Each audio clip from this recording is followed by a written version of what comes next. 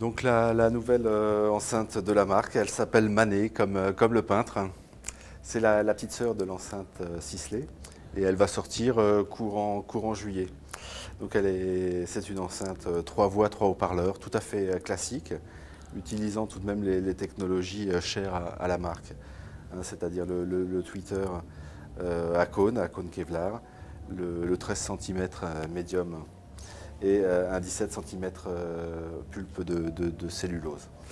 Donc cette enceinte Manet, elle va sortir euh, prochainement au tarif de 2500, 2700 euros euh, la paire dans sa finition laqué noir. On reprend les mêmes haut-parleurs qui ont été développés sur la Sisley. Exactement les mêmes euh, haut-parleurs, un boomer euh, en moins, je dirais, sur la- le, le plus petit modèle, qui forcément est un petit peu, un petit peu différent pour euh, tout de même euh, euh, très bien marcher dans le, dans le grave.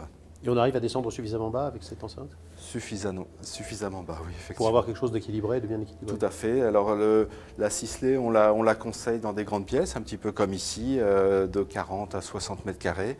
Et la, la Manet, pour une pièce de 25-30 mètres carrés, elle est très très bien. Il y aura un niveau de grave tout à fait suffisant. À amplifier comment? Avec tout type d'amplificateur, euh, comme d'habitude, euh, chez nous, euh, le, rendement de l'enceinte est, tout à fait suffisant. On va tourner autour de 91-92 dB. Donc on peut mettre éventuellement même des amplis à tube dessus.